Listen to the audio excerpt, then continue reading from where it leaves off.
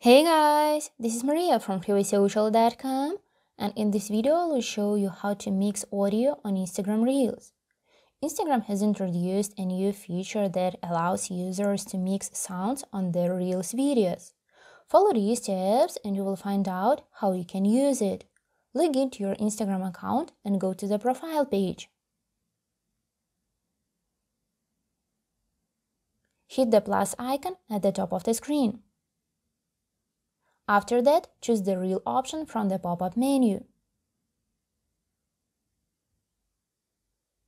As soon as the camera screen opens, record a video or upload the one from your camera roll.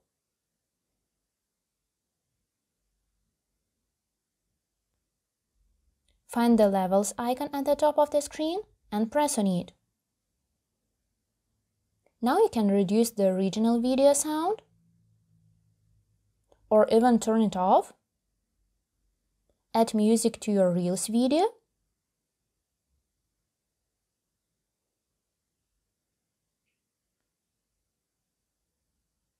Or mix the original video sound with an added song.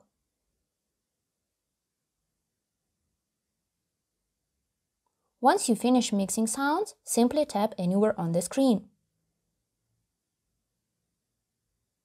Don't forget that you can also insert stickers, draw or write something on your video. When your video is ready, click on the arrow button in the bottom right corner and share it to Reels. That's it. I hope this guide was helpful and you were able to mix audio on Instagram Reels.